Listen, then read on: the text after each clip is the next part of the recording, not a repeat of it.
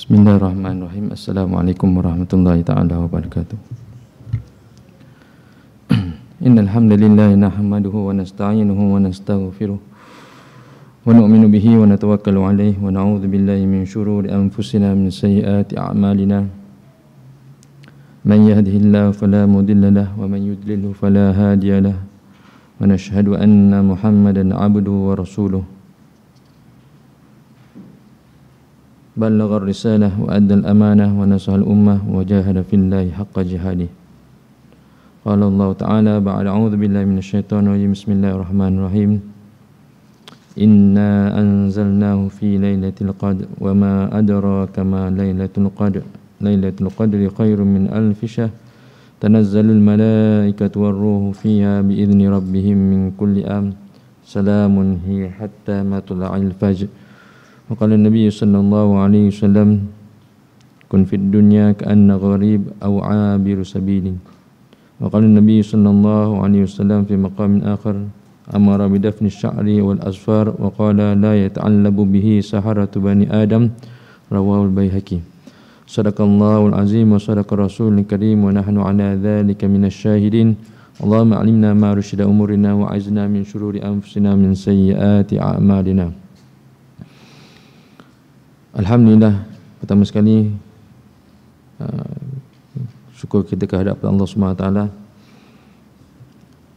sama-sama yang saya muliakan lah pertama sekali Tuan Pengusi Surau Imam Bilal Siak AJK tertinggi bagian surau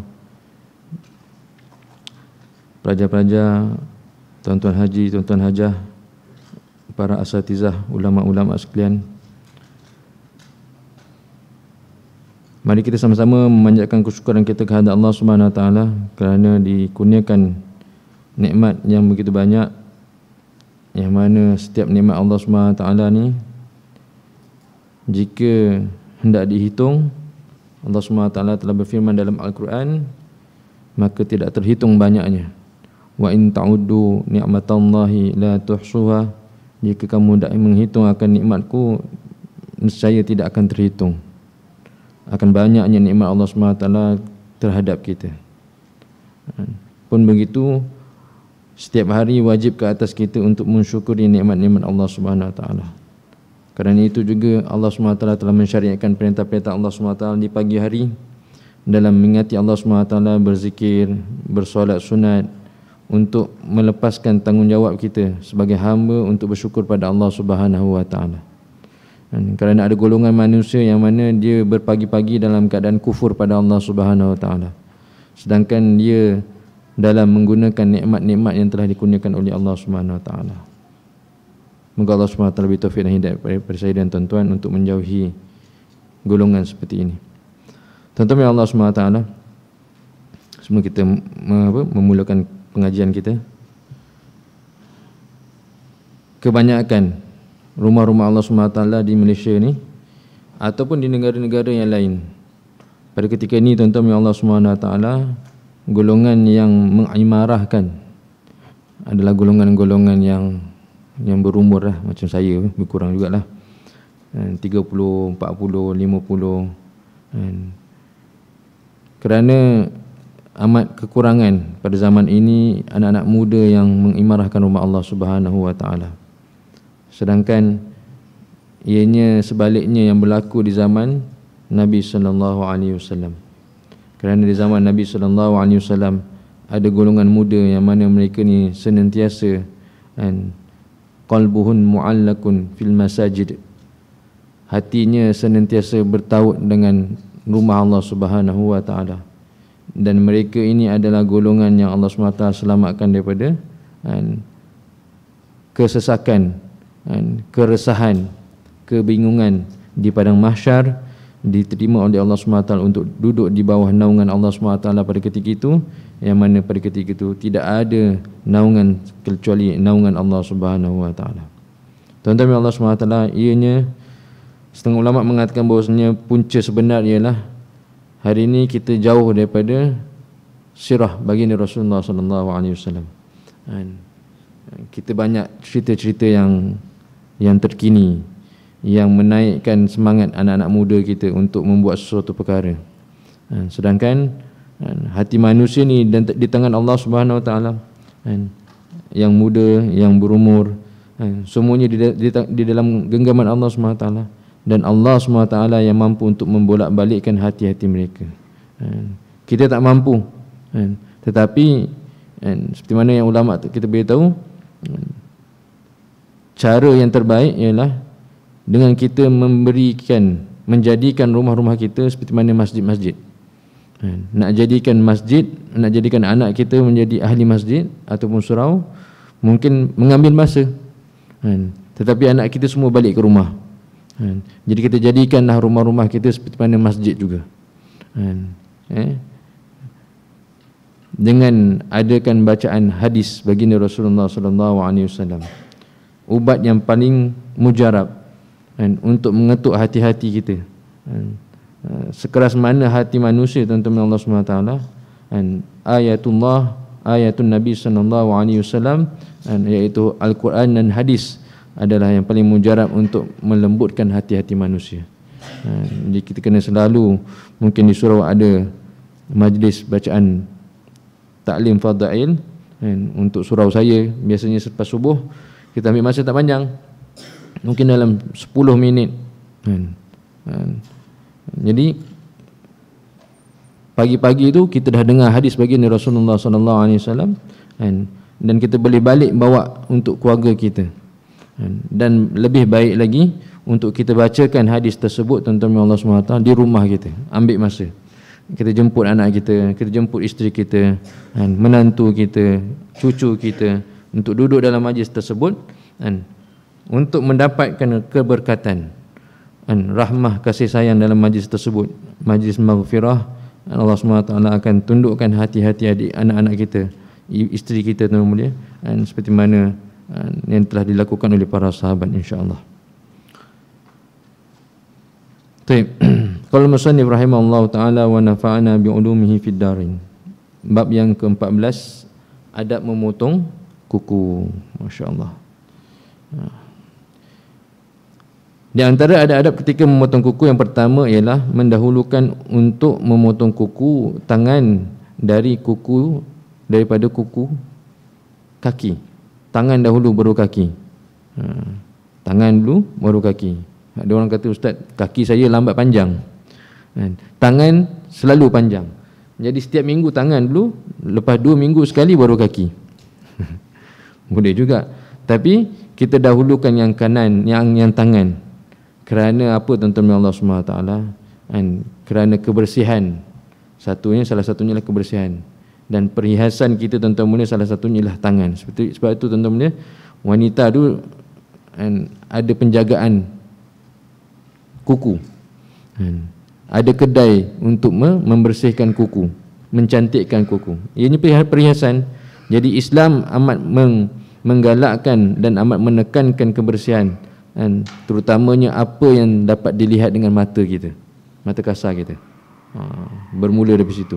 Ha, kuku ni semua orang boleh lihat kan ha, walaupun wanita kan di luar rumah dia waktu mereka bekerja tuan-tuan Allah SWT dibenarkan untuk kan nampak pergelangan tangan ni kan, jadi kan, amat penting untuk menjaga kebersihan kuku ha, jadi apabila kita tengok, tengok ada orang yang mana tangannya dalam keadaan kotor hitam kan mana dia tidak tahu sebenar kan, kebersihan skop kebersihan dalam Islam itu sendiri.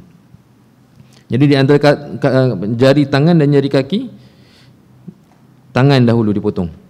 Kemudian baru kan kuku di di jari kaki kita. Yang kedua mendahulukan untuk memotong kuku tangan kanan daripada kuku tangan kiri. tangan dan kaki tangan dulu. Di antara kanan dan kiri kanan dahulu. Ah, eh uruf seperti mana yang Rasulullah selalu amalkan dalam kehidupan Rasulullah semuanya perkara yang baik dilaksanakan dimulakan dengan yang sebelah kanan Al-Imam Ghazali rahimahullah taala dalam kitabnya Ihya Ulumuddin menjelaskan fihi wal ilmu inda Allah subhanahu annahu la budda min qalmi min qalmi azfaril yadi wal rijli wal yadu ashrafu minar minar rijli fayabda'u biha thumma al yumna ashrafu minal yusra fayabda'u biha hayatun ulumuddin yang anak-anak tengok itu eh. Ada terjemahan tak? Tak ada terjemahannya demi zat yang telah memuliakan kita dengannya. Dan ilmu di sisi Allah Subhanahu wa taala sesungguhnya tidak dapat tidak daripada memotong kuku. Qalmil azfar ni memotong kuku al yadi tangan. Memotong kuku di tangan dan kaki. Wal yadu ashrafu minar rijli dan tangan yang paling mulia di di antara manusia an fayabda'u biha. An thumma dimulakan dengannya. Yang mulia itu kita muliakan dia. Thummal yumna ashrafu minal yusra fayabda'u biha. Kemudian yang kanan tu lebih mulia daripada yang kiri maka dimulakanlah yang kanan. Ya Baik. Itu terjemahannya. Dalam kitab tidak ada. Ha, kalau tak sempat nak tulis itulah maksud dia. Ha, itulah maksud atau mafhum daripada hadis tadi tuan-tuan. Di antara kanan ni yang paling mulia ialah yang kanan. Jadi mulakan yang kanan kemudian baru yang belah kiri. Yang ketiga menanam kuku yang telah dipotong. Menanam kuku yang telah dipotong. Berdasarkan hadis anna Rasulullah sallallahu alaihi wasallam amara bi dafni sya'ri wal asfar wa qala la yata'allabu fi la yata'allamu bihi saharatu bani adam rawal baihaqi Sesungguhnya Rasulullah wasallam telah memerintahkan untuk menanam rambut iaitu rambut kepala, ketiak, kemaluan, semua bulu yang kita potong. And semua tu kalau kita potong and kita cukur and maka perlu ditanam.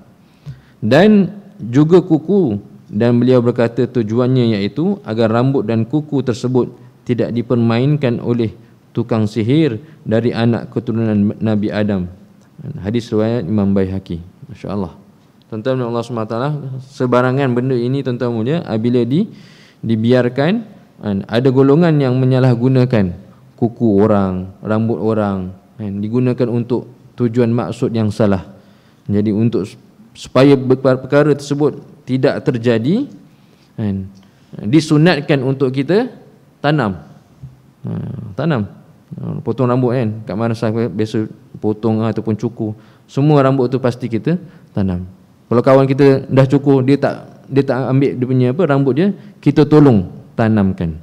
Ha, eh, tolong tanamkan kalau boleh. Tak perlu tak tak perlu dalam-dalam ha, kerana kuku ni ha, apa dia bukan benda yang binatang hidu dan korek ambil.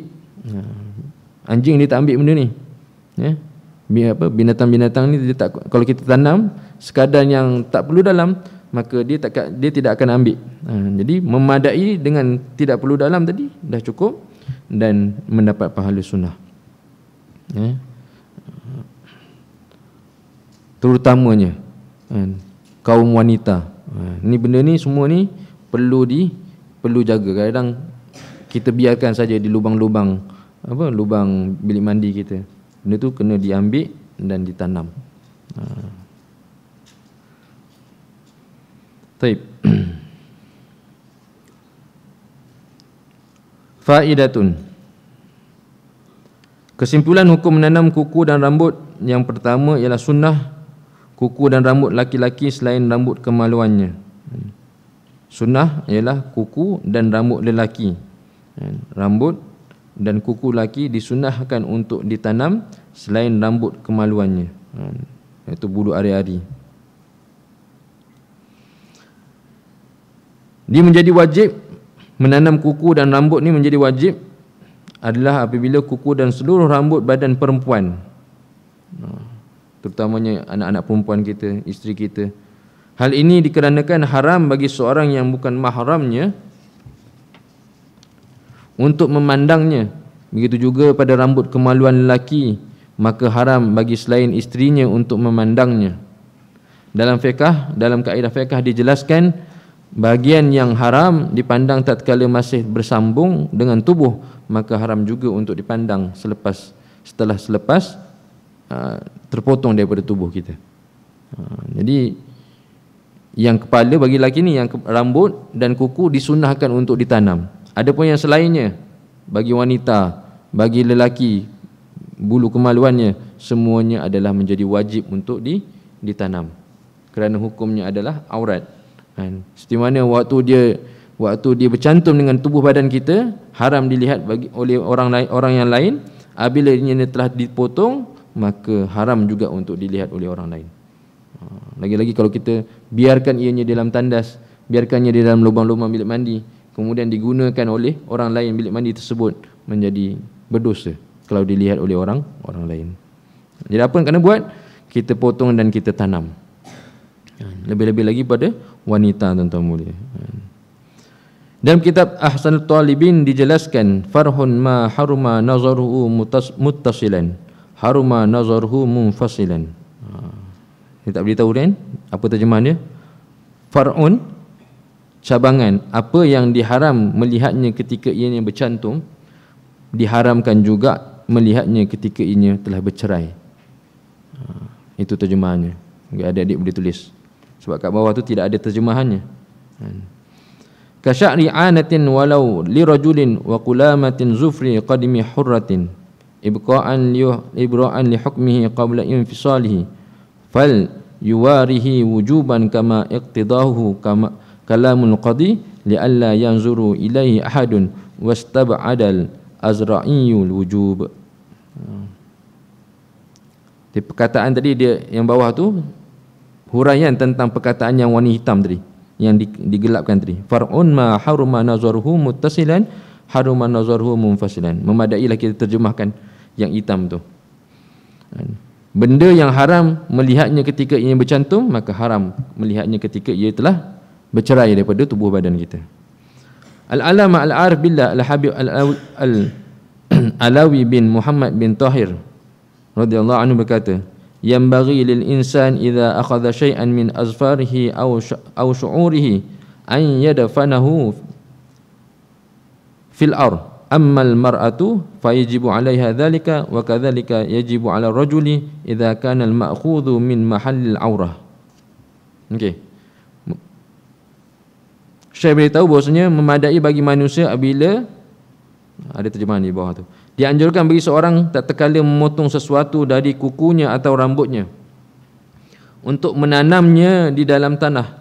Adapun bagi wanita maka hal ini diwajibkan atasnya dan begitu pula bagi lelaki maka wajib baginya untuk menanamnya iaitu jika sesuatu yang dicukur posisinya berada di tempat aurat seperti bulu kemaluan ha, jadi jangan biarkan begitu saja ha, sebelumnya terlihat dengan orang lain ha, maka perlu kita tanam. Ha, tanam. Ataupun tentang maksud daripada tanam itu ialah sebenarnya ialah kita tak nak bagi orang lain lihat. Hmm, kita masuk dalam plastik buang elok-elok. Ha, itu paling mudah. Ha, setiap kali nak potong nak kena korek tanah, nak cari cangkul mungkin susah.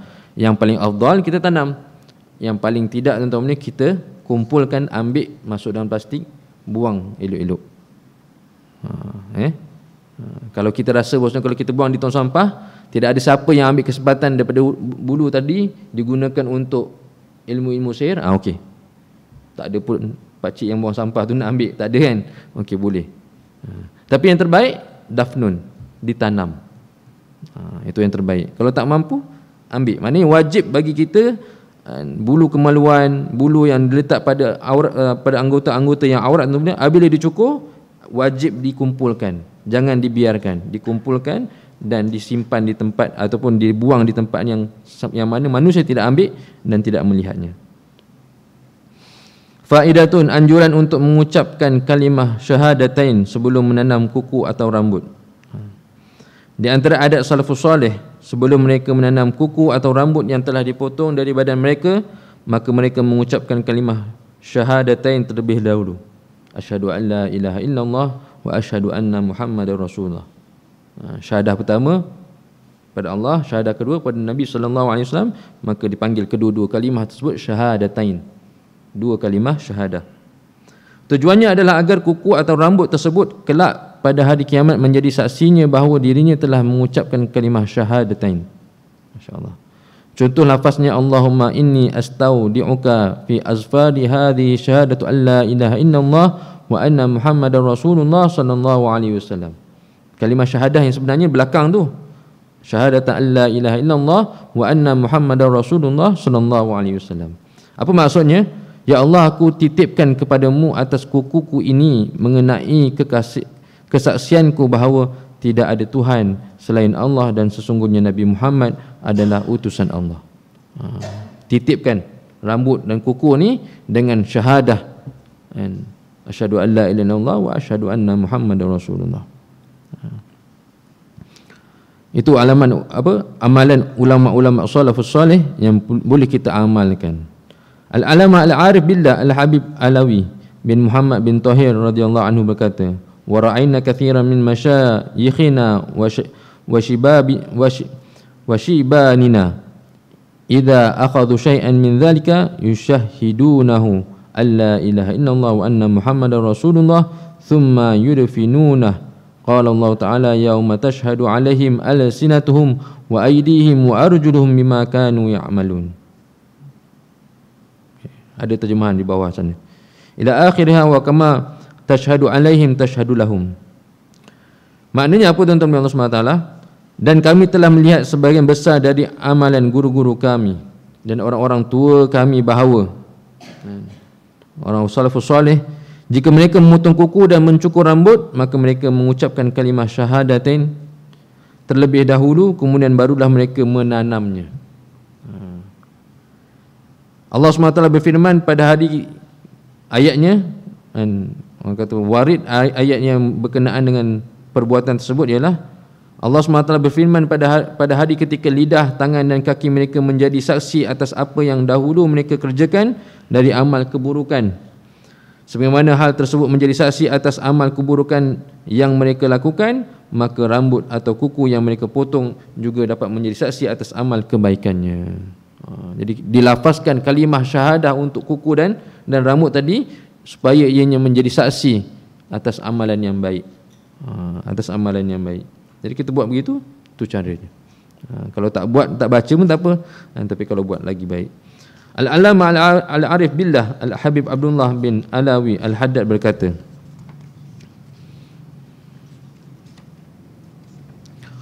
وبلغنا عن بعضهم أنه أخذ سبع خصيات من عرفات فاستشهدها ala nafsihi annahu yashhadu an la ilaha illallah.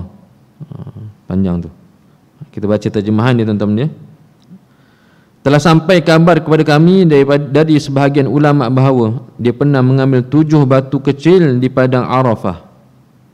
Padang Arafah tuan-tuan ya. Termasuklah Jabal Rahmah seluas sampai ke ah, sampai sebelum ke Mina tuan-tuan mulia. Ya. Kemudian dia menjadikan batu-batu tersebut sebagai saksi atas ucapan syahadah dirinya. Dia berkata bahawa sesungguhnya tidak ada Tuhan selain Allah Kemudian selain itu dia bermimpi sesungguhnya dia menghadap Allah SWT untuk dihisap. Kemudian dihisaplah amalannya dan setelah dihisap maka Allah memerintahkan malaikatnya untuk memasukkannya ke dalam neraka kerana sebab kemaksiatannya maka setiap kali dia akan dimasukkan ke dalam pintu dari tujuh pintu-pintu neraka maka datanglah batu yang menutupi pintu neraka sehinggalah terce- sehingga tercegahlah dirinya untuk masuk ke neraka dan dia mengetahui bahawa batu yang mencegahnya untuk masuk neraka tersebut adalah batu yang dia jadikan sebagai saksi atas ucapan syahadahnya tatkala di Arafah. Kemudian setelah batu-batu tersebut menutupi tujuh pintu neraka, maka datanglah kesaksiannya atas ucapannya bahawa sesungguhnya tidak ada Tuhan selain Allah. Kemudian setelah itu dibukakanlah pintu syurga untuknya. Benda macam simple, benda yang perkara yang amat mudah tapi apabila di, dijadikan persaksian dia dengan dengan batu-batu dengan dengan apa makhluk-makhluk yang Allah SWT ciptakan ciptakan ini dia bersyahadah dengan makhluk-makhluk tersebut di akhirat. Kan? Semua ni akan menjadi saksi atas syahadah dia.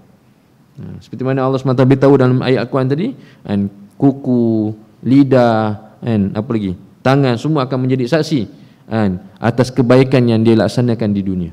Ha, jadi bukan sebarangan nampak macam perkara yang mudah, yang simple. Tapi kalau diamalkan, ia akan menjadi menjadi sebab kita selamat daripada azab Allah Subhanahu Wa Taala. Yang keempat, waktu yang paling utama untuk memotong memotong kuku iaitu pada hari Isnin. Senin itu dulu bahasanya. Bahasa Indonesia. Senin. Kamis setelah asar atau Jumaat pagi. Ha, hari Isnin, Kamis setelah asar atau Jumaat pagi dan boleh juga memotongnya pada hari-hari yang selainnya. Ha. Berdasarkan sabda Rasulullah sallallahu alaihi wasallam, "Man qallama azfaruhu yaumal jum'ah wukiya minasu ila mithliha. Barang siapa yang memotong kukunya pada hari Jumaat maka dia akan dijauhkan dari keburukan sampai hari Jumaat yang berikutnya. Mithliha maknanya Jumaat ini sampai Jumaat yang akan datang. Ha, potong kuku. Ha, jadi bukan bukan sembarangan ni kalau kita tak potong kuku pun kita nak kena potong juga panjang rimas nak pegang tak boleh nak makan tak boleh pergerakan terbatas jadi potong? Jadi apa salahnya kalau kita potong tadi dia waktu hari-hari yang terbaik. Hari Kamis. Berapa hari Kamis sebenarnya? Kebanyakan dalam kitab-kitab kan untuk memotong bulu hari-hari, memotong kuku, kan, memotong apa? Uh, memendekkan misai. Buat hari Kamis untuk meraihkan hari Jumaat yang kita nak masuk dalam keadaan kita dah sediakan amalan-amalan itu. Ha, kita rasa bosnya amalan ini sunat dilaksanakan sebelum solat Jumaat. Ya, tapi kalau dilaksanakan pada hari Kamis itu pun menjadi sunat kerana kita melaksanakan perkara tersebut kerana hari Jumaat yang bakal kita lalui jadi memotong pada hari Kamis juga adalah menjadi perkara yang sunat hari Isnin kan, juga adalah perkara yang baik untuk kita potong kuku pada ketika itu. Waktunya ialah waktu asar ataupun kan, Jumaat pagi. Asar pada hari Isnin dan hari Kamis ataupun dah terlajak contoh kata besoknya hari Jumaat kan? Nak sembahyang Jumaat tengok kuku tak potong lagi. Di pagi hari Jumaat juga adalah disunatkan untuk kita potong. Ataupun di hari-hari yang lain. Ha. Man qallama azfar yaumal jum'ah wuqiya minasu ila mithliha barang siapa yang memotong kuku pada hari Jumaat diampunkan dosanya dijauhkan dari keburukan sampai hari Jumaat yang satu lagi Berdasarkan sabda Rasulullah sallallahu alaihi wasallam man qassa azfaruhu yaumal jum'ah akhrajahu Allah minhu da' wa adkhala fihi shifa. Barang siapa yang memotong kukunya pada hari Jumaat, maka Allah akan mengeluarkan darinya penyakit dan memasukkan yakni memberikan kesembuhan di dalamnya. Jadi hari Jumaat tu kita dah kena train apa kena buat di pagi hari. Terutamanya insya-Allah hari ini Jumaat ni kita cuti. Ha, biasanya orang yang bekerja ni kalau hari Jumaat cuti dia seronok. Ha, kenapa tuan mulia? Banyak perkara yang tak dapat dilaksanakan terutamanya sunat-sunat Jumaat waktu dia dah bekerja. Ha, salah satunya perkara yang mungkin kita boleh ingat kan Semayang Jumaat ni tuan-tuan kita potong kuku kan potong bulu kemaluan kita kita rapikan kita punya apa misai kan apa lagi tuan-tuan pakai wangi-wangian, pakai baju baju warna putih dan untuk menyertai solat Jumaat. Satu lagi, berjalan kaki menuju solat Jumaat. Ha, tengok juga surau mana, masjid mana, rasa mampu tak kan? Nak pergi sembahyang Jumaat tu berjalan kaki. Ha, bukan bukan apa, bukan perkara yang biasa tuan-tuan. Ini adalah amalan sunnah kan untuk melaksanakan hari Jumaat. Di panas yang terik kan, tapi kita mampu untuk berjalan kaki. Kan? Kerana orang dahulu untuk melaksanakan solat Jumaat dia bukan datang yang waktu yang lewat bahkan datang solat Jumaat di waktu yang awal kan? untuk menyempurnakan amalan-amalan dan membaca surah Al-Kahfi bukan pendek panjang ha, kalau orang tak ada cuti kemungkinan besar kan? setengah juzuk tu kan surah Al-Kahfi tu kan? satu benda yang mustahil ha, jadi biasa kita baca 10 hari 10 ayat 10 ayat kan? dah ada cuti ni Allah bagi kita bacalah surah al-kahfi sempurna ha? insyaallah berjalan kaki ha. eh berjalan kaki untuk menuju solat Jumaat kita amalkan Barang siapa yang memotong kukunya pada hari Jumaat maka Allah SWT mengeluarkan darinya penyakit dan memasukkan yang ini memberikan kesembuhan di dalamnya tertibkan diri kita untuk potong kuku pada hari Jumaat tuan-tuan ha. seminggu sekali insya-Allah biasanya seminggu kuku panjang seminggu kuku panjang potonglah khususkan untuk diri kita pada hari Jumaat kerana kelebihan ini insya-Allah. Rasulullah sallallahu alaihi wasallam telah bersabda man arada an ya'mana minal faqri wa shikayatil ama wal baras wal junun falyuqallim azfaraha yaumal khamis ba'dal asri rawahu dailami. Barang siapa yang ingin terjaga dari kemiskinan kan, terpelihara ataupun terjaga dari kemiskinan dan musibah buta belang dan gila maka potonglah kukunya pada hari Kamis setelah waktu asar. Apa maksud tadi tuan-tuan kemiskinan satu kan, dan musibah buta. Buta lah. Belang kulit yang belang-belang ni. Sopak kan ataupun penyakit gila. Maka potonglah kuku pada hari Kamis khususkan pada hari Kamis setelah solat asar. Hadis riwayat Imam Dailami. Ha mana kita waktu ni tak tak tak lari daripada hari Kamis hari Jumaat pagi ataupun hari Isnin. Yang kelima dianjurkan untuk memotong kuku pada hari pada pagi hari atau siang atau petang hari dan janganlah memotongnya pada malam hari. Ha jarang-jarang kalaulah rasa-rasa tak sempat dah memang malam je baru nampak kuku tu baru perasan kuku tu untuk dipotong. Ah malam lah. Kalau boleh tuan-tuan dia potonglah di pagi di pagi hari. Dalam penelitian ilmu kedokteran dijelaskan ma'lumatun hammatun akadat dirasatun ilmiah annahu bihululil lail yatarakkaz al-kasli al-kalsium al-mawjudu fil jism fi atrafil asabi' baca terjemahnya. Pemberitahuan pemberitahuan yang penting telah terbukti dalam suatu penelitian ilmu kedokteran bahawa sesungguhnya dengan memas dengan masuknya waktu malam maka seluruh kalsium yang berada di tubuh terkumpul pada hujung-hujung jari. Dan jika anda memotongnya maka kalsium yang terdapat pada tubuh anda akan terkurang dengan kadar yang sangat besar. Oleh kerana itu sangat dianjurkan bagi anda untuk memotong kuku di siang hari iaitu tatkala kalsium berada di posisi yang normal tidak tertumpu pada kuku-kuku ni kan waktu malam dia kat sini kan jadi jangan dipotong waktu malam waktu pagi dia berada di tempat-tempat yang lain maka potonglah pada ketika itu tuan-tuan eh? bukan hadis tapi apa yang disarankan oleh kan kata doktor medik lah yang keenam tatkala memotong kuku maka niatkanlah untuk mengikuti perintah syariat dan juga supaya dijauhkan dari gangguan syaitan ya. Panjang-panjang ni syaitan yang suka ni. Kan. Yang panjang-panjang ni tuan dia nampak macam cantik kan. Dia letak warna tapi panjang. Kan. Hatta tuan-tuan dia kan. ulama Indonesia tuan-tuan dia pun pelik juga. Kan. Ramai orang sana yang lelaki bukan perempuan, lelaki mesti ada kukunya yang panjang. Kan dalam 10 jari ni dia tak semua panjang ada satu ada satu sini panjang ha, itu pun banyak saya dengar dalam dalam syarahan-syarahan dalam kuliah-kuliah mereka ulama-ulama ni kan, menekankan supaya kan, ada tradisi ini ditinggalkan oleh mereka. Ha, kat sana pun begitu kat sini pun sama orang-orang Indonesia lah kan. Ya, kita tengok tangan dia lelaki tuan-tuan punya. Kan, semuanya mesti ada. Kan, mudah pak. Kan, korek hidung mudah. Apa lagi? Semua mudah. Ha, tapi sebenarnya hakikatnya bukan sunnah bahkan syaitan berada di situ tentunya kekotoran akan berada di situ dan menyebabkan itu adalah punca datangnya penyakit. Ha, jadi sunnahnya bukan dipelihara bahkan dipotong. Ha, eh.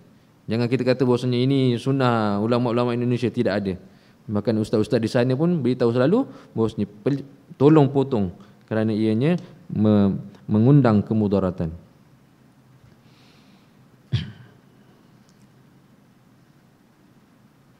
Rasulullah sallallahu alaihi wasallam telah bersabda qussu azafirakum fa inna syaita yajri ma bain lahmi wa zufri rawahu al-qatib Potonglah kuku kalian kerana sesungguhnya syaitan berada di antara daging dan kuku.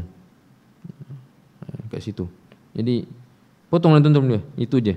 Ha, tidak ada kelebihan kita memelihara kuku.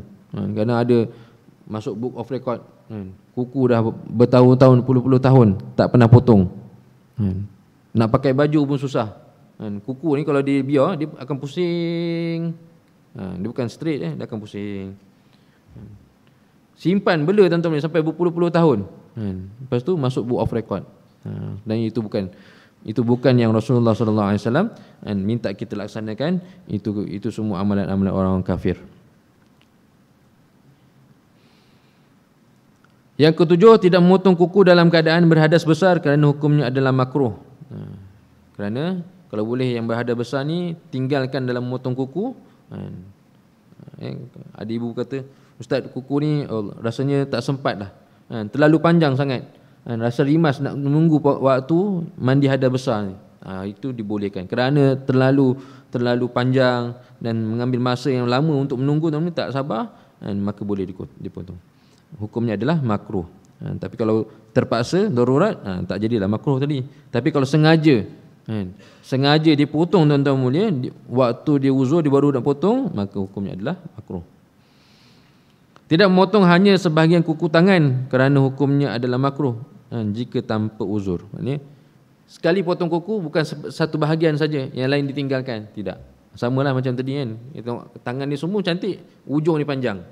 Maknanya dia potong semua, satu bahagian ditinggalkan. Ah ha, itu bukan. Ha, itu juga hukumnya adalah adalah makruh. Bahkan sekali potong kuku semua perlu perlu dipotong. Ha, semua perlu dipotong.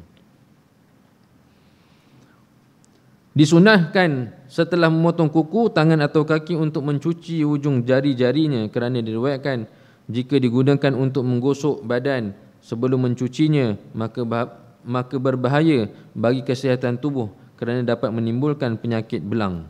Ha, iaitu sofak lah, sopak. Belang ni maksudnya di sini ialah sopak.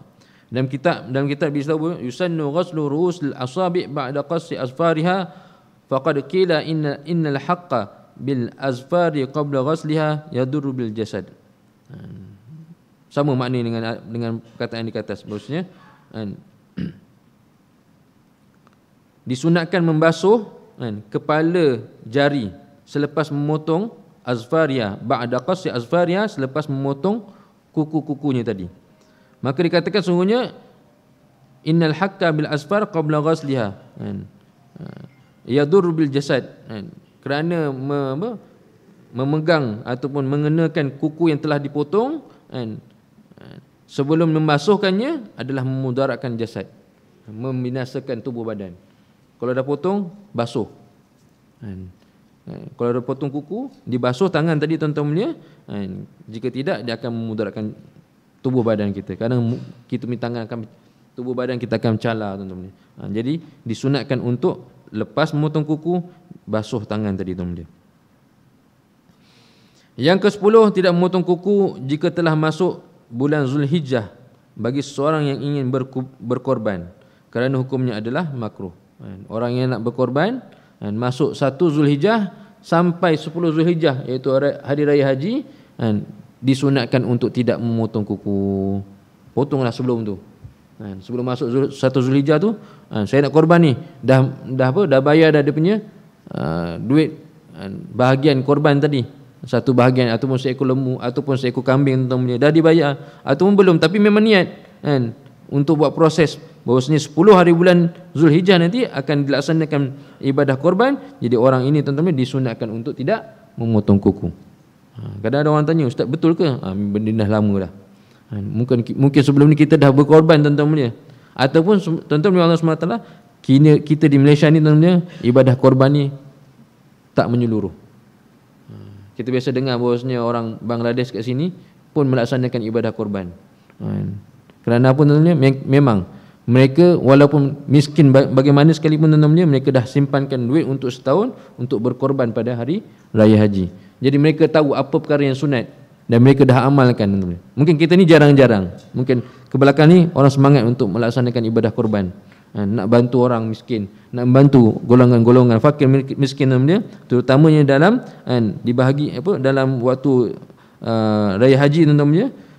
Maka kita kena tahu apa yang disunatkan untuk orang yang melaksanakan ibadah korban iaitu disunatkan untuk sebelum masuk Zulhijjah kan iaitu satu Zulhijjah sampai 10 Zulhijjah tidak memotong kukunya.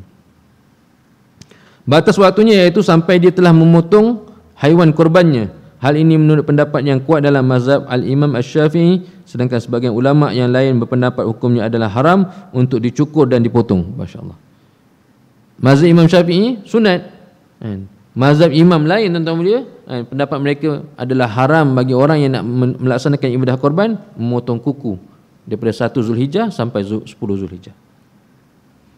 Ha, jadi ini yang kita kena tahu. Kan? Mazhab Imam Syafi'i hukumnya adalah makruh. Ha.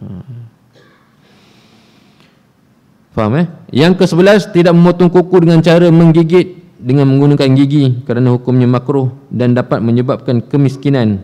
Sebagaimana hal ini telah disebutkan oleh sebagian ulama wa amma ma ta'awwadu ba'dun nas biqat'iha bil asnan fa innahu makruhun bal rubama yurithul faqr. Hmm. Adapun apa yang didatangkan sebagai manusia atau ulama biqat'iha bil bil, bil asnan memotongnya dengan gigi-gigi. Potong jari dengan gigi. Kan? Boleh tak? Boleh. Saya pun tak pernah buat. Kan? kan? Sebab rasanya tak cukup tajam gigi ni. Kan? Motong kuku dengan gigi. Kan? Fa innahu makruhun. Sungguhnya ia adalah makruh. Bal rubama yurithul faqr. Bahkan ia akan mendatangkan mewarisi mewarisi kefakiran bagi orang yang yang buat perkara tersebut. Hindarkan. Kan? Potong dengan dengan uh, pemotong kuku lah insya-Allah. Baik. Faedah perincian hukum memotong kuku. Ha, dia menjadi wajib, adakah dia menjadi sunat? Setengah-setengah golongan tuan-tuan. Memotong kuku adalah wajib jika terdapat kotoran di kuku yang dapat mencegah masuknya air wuduk atau mandi. Jelas dalam kitab fiqh kan kalau kita ambil wuduk tuan-tuan mulia mandi hadas besar kan ada perkara yang menyebabkan kan, ter, termasuk apa menghalang masuknya air pada mengenai bahagian di bawah kuku kerana air untuk masuk di bawah kuku adalah wajib. Ha, jika ada yang menghalang, memotong kuku pada ketika itu menjadi wah, wajib. Ha, sama juga orang yang memakai jam tangan. Ha, jika dia tidak menggerak-gerakkan jam tangan dia ataupun apa lagi? Ha, jam tangan lah biasa. Ha, atau buat cincin.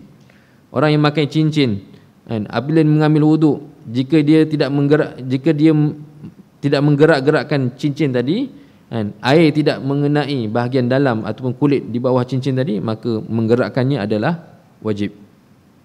Jika kalau dia tak gerakkan tadi tuan dia dia tak gerakkan air memang dah kena juga.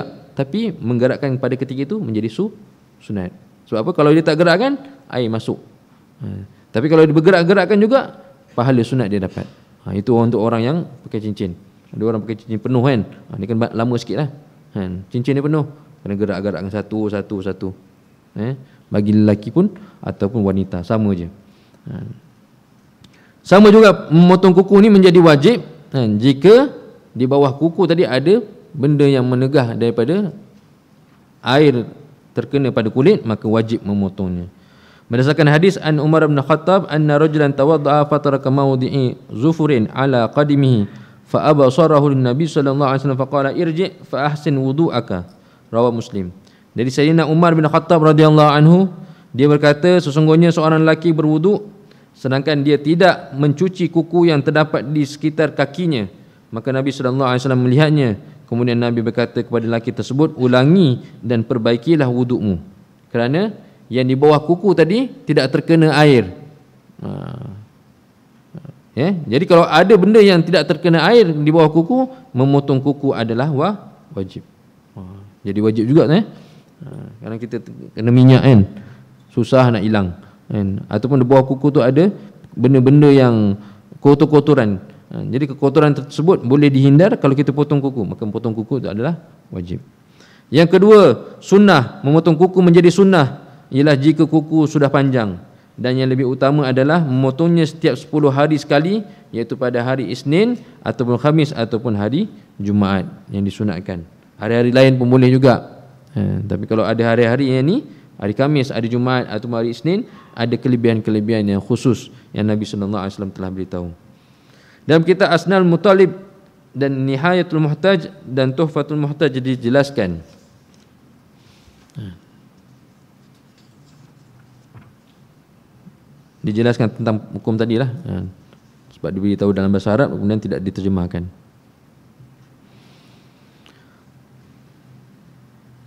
Qala fil anwar yustahabbu qalmu azfar kulla asharati ayyam.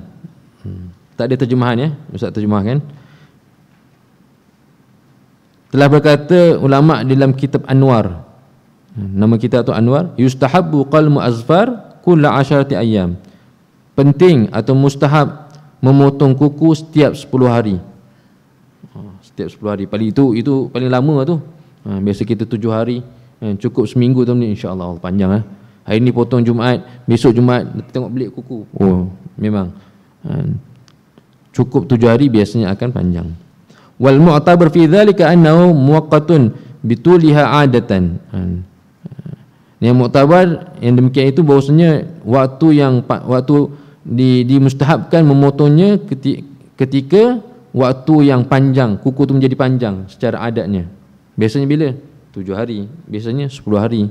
Dan maka idzin bi ikhtilafil ashkhas wal ahwal. Dan ianya berbeza bagi setiap orang. Ada orang tu dia panjang kukunya lepas dua minggu ustaz baru boleh panjang. Ha, baru nampak dia panjang. 14 hari. Ada orang tu tak tak lama Ustaz, 5 hari dah panjang. Ha, dia buat kerja-kerja keras, kerja-kerja kasar. Jadi kuku sering panjang tuan. Nampak dia punya kotoran-kotoran itu di bawah kuku. Maka berbeza-beza. Wa yusannu fi'lu dhalika yawmal khamis. Disunatkan melakukan yang demikian itu, yakni memotong kuku pada hari Khamis. Au baqarata yawmal jum'ah ataupun bakrah apa bakrah? Pagi hari Jumaat au yaumal ithnain ataupun hari ithnin duna baqiyatil ayam ha, selain daripada ha, bukan selain daripada hari-hari yang lain ha, disunatkan setengah ulama ulama mengatakan bahwasanya disunatkan pada hari pagi Jumaat hari Isnin hari Khamis bukan hari-hari yang lain.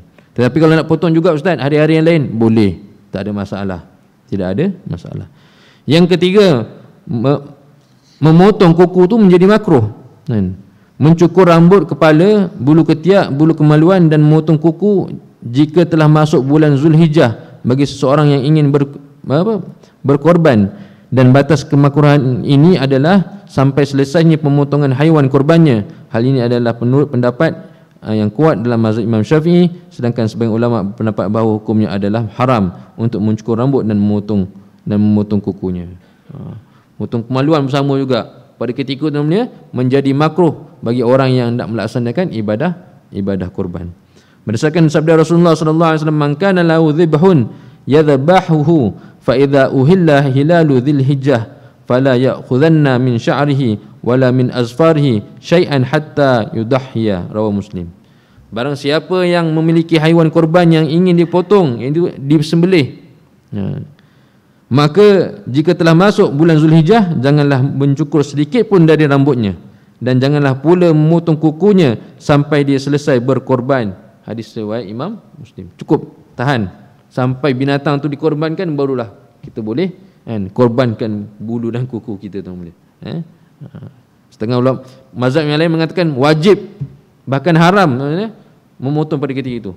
Kan? Kita menjadi makruh kalau potong. Ha makruh kalau ada orang nak potong juga makruh jenuhlah pada ada yang yang tahun baru ni dan ramai yang tanya betul betul betul ha, memang memang makruh untuk potong dia pun tahan tahan tahan pada hari nak korban tu semua mesej masuk ustaz dah korban dah ni boleh potong tak semua nak tanya ha, kita dah beritahu dah dah korban binatang terus ha, ha, kalau nak meyakinkan tanya juga Kan? Ada yang binatang tak korban, binatang korban tak sembelih lagi. Dah hari ni Ustaz, saya nak korban hari ni tapi tak tak sembelih lagi. Boleh tak potong? Kan? Kenapa tak sembelih? Surau kata delay. Hari ni penuh sangat, kan? Hari ni sembahyang apa? Sembahyang hari raya haji, tak sempat nak melaksanakan ibadah korban. Besok pula. Apabila besok penuh pula, kan? Sampai giliran lembu dia tak sempat nak diuruskan. Kemudian pula hari ke uh, 10, 11, 12 dah. Jadi orang yang yang nak nak berkorban dan kena tahan semua. Ha, tapi kalau tak tahan potong tapi hukumnya adalah makruh. Ha, mazhab yang lain hukumnya adalah ha, haram. Macam seolah-olah perkara tersebut baru baru naik sedangkan hukum tersebut dah lama. Mungkin kita ni masih lagi tak mengamalkan perkara-perkara yang sunat bagi orang yang nak melaksanakan ibadah ibadah korban. Dan mungkin ibadah korban tu tak tak menyeluruh lagi. Sedangkan negara-negara miskin, tuan-tuan yang Allah SWT, jika kita pergi ziarah sana, waktu hari raya haji, penuh dengan mewah, dengan dengan peng, apa, ibadah korban. Keluarga miskin, keluarga kaya, semua melaksanakan korban. Hmm. Eh, semua melaksanakan korban. InsyaAllah, mungkin satu masa nanti, tuan-tuan kita punya apa, ibadah korban kita, penyembelihan kita, dah dah mencukupi kan seluruh Malaysia boleh disampaikan ke negara-negara yang lain. Boleh tak? Hukumnya boleh. Contoh kata dah dah dah habis dah bagi kat kampung sini. Tapi lembu banyak sangat. Semua orang melaksanakan ibadah korban. Daging banyak lagi tu dia. Boleh tak pindahkan ke negara yang miskin? Boleh, tak ada masalah. Menjadi haram memotong kuku dan mencukur bulu jika masih dalam keadaan ihram haji ataupun umrah sebelum tahallul. Haram tuan-tuan dia. Hukumnya haram. Ha, nak potong waktu tu. Hukumnya adalah haram. Tapi kalau dah dah tahallul maka dah boleh. Maksudnya dah cukur rambut tu mulia ataupun dah potong sikit daripada rambut, tahallul dah selesai ibadah haji, dah selesai ibadah umrah, kerana tahallul tu penutup dia. Maka selepas itu tuan-tuan baru dah dibolehkan untuk kita memotong kuku dan yang yang selainnya. Faedah Perbeza, perbedaan atau perbezaan pendapat di antara para ulama mengenai cara yang paling afdal utama dalam memotong kuku. Ha. Eh, kena tahu potong kuku tu pun dapat ahli sunnah cara sebelum saya baca saya boleh boleh tahu lah boleh tahu lah bahawasanya yang biasa kita amalkan. Ha, tuan-tuan tengok tangan tuan-tuan. Ha, yang sini sampai ke sini. Ni 1 2 3 4 5 6 7 8 9 akhir 10 yang kaki daripada ujung kaki jari kita yang kanan ni yang, yang kecil tu sampai ujung kiri yang kecil itu. Tetapi banyak pendapat yang lain tuan-tuan. Kita bacakan pendapat-pendapat tersebut. Ha, ini yang biasa kita amalkan mudah untuk ingat. Ustaz susahnya potong jalan mana dan boleh. Tapi ini kaedah yang sunnah yang akrab bila sunnah yang boleh kita amalkan untuk kita memotong kuku. Ha, bukan macam ni. Ha, satu, dua, tiga, bukan. Terbalikkan. Satu, dua, tiga, empat, lima, enam, tujuh, lapan, sembilan. Akhir sepuluh. Ha, eh. Mana kalau macam ni. Kita terbalikkan. Mana di sini. Satu, dua, tiga, empat. Kan? 5, 6, 7, 8, 9, 10 eh? Ha, dia kena tengok macam ni bu, senang nak tengok kalau macam ni dia jadi terbalik tengok tangan tapak tangan macam ni sini sampai ujung dan yang ni terakhir yang pertama cara yang dianjurkan oleh Imam Ghazali rahmatullah alaih dimulai dari jari telunjuk tangan kanan kan? sampai pada jari kelingking kan? sini sampai sini kan? Kemudian dimulai dari jari kelingking tangan kiri sini sampai ke tangan kiri sampai ibu jari. Dan diakhirkan dengan ibu jari kan, tangan kanan. Yang kita buat tu adalah amalan Imam Ghazali rahmatullah alaih begini. 1 2 3 4 5 6 7 8 9 Imam Ghazali punya amalan. Ha, ini yang afdal yang mula-mula diletak dalam kitab ni adalah uh, yang dianjurkan oleh Imam Ghazali rahmatullah alaih. Ini yang saya beritahu tadi. Jadi selepas tu diberitahu Al Imam Ghazali dalam kitabnya Ihya Ulumuddin, ha, thumma alal yumna khamsatu asabi wal musabbahatu ashrafuha. Ha, dia tak terjemah kan, tapi menceritakan bahawasanya ini. 1 2 3 4 5 6 7 8 9 10. Cara yang kedua yang dianjurkan oleh Imam Nawawi Imam mazhab Imam Syafi'i rahmatullah alaih dimulai dari jari telunjuk tangan kanan. Ni. Ya, sampai jari kelingkingnya. Satu, dua, tiga, empat, lima sampai sini. Kemudian ibu jari tangan kanan.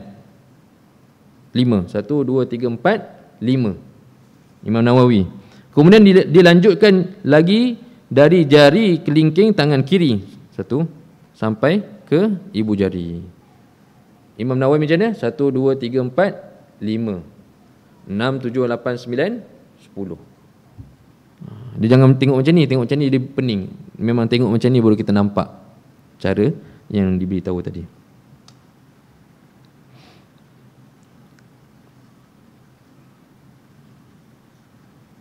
Tapi dalam kitab dalam kitab macam ni ditunjuk macam ni kan. Ha, tapi nombornya je berterabur lah. Eh? Kalau tunjuk macam ni, nombor dia akan menjadi berterabur. Kalau tunjuk macam ni, mudah untuk kita faham, untuk kita ingat. Itu cara yang nombor dua. Yang ketiga, pendapat sebagian ulama dimulakan, dimulai dengan kuku jari tengah. Hmm. Kemudian jari kelingking. Kemudian jari ibu jari. Kemudian jari manis. Kemudian jari telunjuk. Begitu juga dengan kuku tangan kiri cara ini adalah berdasarkan sabda Rasulullah sallallahu alaihi wasallam ya Aisyah idza anti qallam qallamti azfaraki fabda'i fabda'i. Bil wusta thumma al khinsiri thumma ibhami thumma al binsiri thumma sababati fa inna dhalika yurithul ghina. Wahai Aisyah jika kamu memotong kukumu maka mulailah dengan kuku jari tengah. Kemudian jari kelingking dilompat. Di tengah ni kelingking pula. Dan kemudian ibu jari. Kemudian jari manis. Kemudian jari telunjuk kerana sesungguhnya cara ini dapat mewariskan kekayaan mana nak buat tuan-tuan susah sikit tapi Nabi beritahu mewariskan kekayaan tak susah susah pun susah lah yang penting jangan miskin nak yang kaya tu buatlah tak apa kerana itu daripada Rasulullah sallallahu alaihi wasallam amalkan tak masalah tapi agak susah mula apa? Tengah. Kemudian kelingking. Kemudian jari manis. Lepas tu ibu jari. Lepas tu jari telunjuk. Ha. Mana yang nak amalkan? Anak-anak mesti dia ambil yang nombor tiga tu. Nombor tiga ni Ustaz. Yang lain tu senang sangat. Ha. Itu, itu yang Rasulullah SAW sabdakan hadis tersebut kepada hadis Aisyah radhiyallahu anha. Yang keempat menurut sebagian ulama pada tangan kanan mengikut urutan huruf khawabis iaitu al kha al hinsiru jadi kelingking al wa jadi teleng, jadi tengah wusta. Kelingking hinsir wusta al alif al ibham ibu jari bin sir jari manis al asbabah jadi telunjuk setiap jari ni semua seperti mana orang orang Melayu lah jari manis jadi telunjuk jadi ada maknanya dalam bahasa Arab pun ada juga tuan-tuan mulia ha, jadi itu kaedah yang keempat ada yang kelima pun ada, masya-Allah. Ha. Yang kelima kita baca sedikit. Ha. Dia tak perlu tak perlu secara terperinci kerana menerangkan hanya bahagian-bahagian. Yang kelima menurut sebagian ulama pada tangan kanan dimulai dari jari kelingking, kemudian jari tengah, kemudian ibu jari, kemudian jari manis, kemudian jari telunjuk dan pada tangan pada tangan kiri dimulai dari ibu jari, kemudian jari tengah, kemudian jari kelingking, kemudian jari telunjuk, kemudian jari manis. Senang. Kalau tengok betul-betul tuan-tuan ambil ambil satu kaedah, amalkan jangan tengok yang lain. Kau tak pening. Ha? Haji pun haji pun tergelak. Eh? Lebih kurang je eh? kan. Tapi semuanya ada ada dia punya asar dia. Ha? ada dia punya asal dia yang untuk kita amalkan. Yang biasa mudah untuk kita amalkan beginilah. Yang Imam Ghazali rahmatullah alaihi ajarkan bagusnya pandang tapak tangan kita kanan sampai kiri. 1 2 3 4 5 6 7 9 10 itu amalan Imam Ghazali rahmatullahi potong kuku. Jangan tunjuk macam ni tuan. Pening tu macam ni. Macam ni. Ha. Memang dalam gambar dia tunjuk macam ni, tapi tengok dia punya nombor dia. Terabur tak kan? Untuk memudahkan kita tengok tangkap tangannya. 1 2 3 4 5 6 7 8 9 10. Ambil satu amalkan. Ha. Mungkin satu lagi yang nombor tiga tadi itulah. Yang Nabi beritahu kepada Hadrat Aisyah kan mewariskan kekayaan. Kita amalkan tu. Mungkin ada yang tak tahu tuan-tuan ambil, phone jumpa kat anak-anak ini pinjam kitab jap pakcik nak tengok yang nombor mana yang bagus nak diamalkan ambil gambar kita print tuan-tuan ni letak kat rumah kita ha, photostat letak kat rumah bagi ingat mana mana cara yang yang mudah yang sunang untuk kita amalkan untuk memotong kuku ya.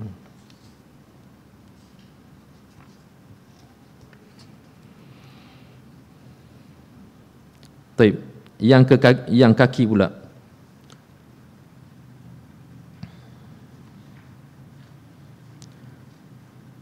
Semua perbezaan tata, tata cara dalam motong kuku tersebut adalah berlaku pada kedua tangan saja. Sedangkan pada kuku jari kaki, maka caranya adalah dimulai dari kelingking jari kanan. Ini umpamakan ni kaki kita tu ya.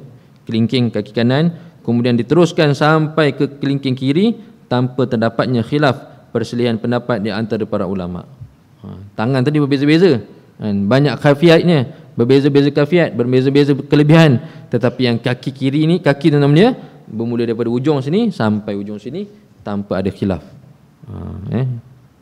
Insya-Allah moga Allah SWT beri taufik hidayah kepada saya dan tuan-tuan untuk amalkan. Ada apa soalan? Ha, tak ada ustaz. Saya ada soalan soalan yang besar-besar dia ya. Yang ini insya-Allah boleh amalkan. Eh, kita sama-sama amalkan.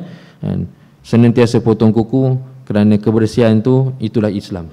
Ha, yang mana yang mengatakan bahawasanya kan, simpang kuku itu bagus itu bukan ada asarnya daripada Nabi sallallahu alaihi wasallam bahkan Nabi beritahu bahawasanya itu adalah kan, tempatnya syaitan ha, tempatnya berlindungnya kekotoran ha, itu bukannya cara Islam dan perlu ditinggalkan dan diamalkan insyaallah Moga Allah SWT bertaufiq dan hidayah saya dan tuan-tuan untuk amalkan. Subhanallah bihamdi, subhanakallahumma wa bihamdika. Asyhadu an la ilaha illa anta astaghfiruka wa atubu ilaik. بسم الله الرحمن الرحيم والعصر إن الإنسان لفي خسر إلا الذين آمنوا وعملوا الصالحات وتواصوا بالحق وتواصوا بالصبر والله أعلم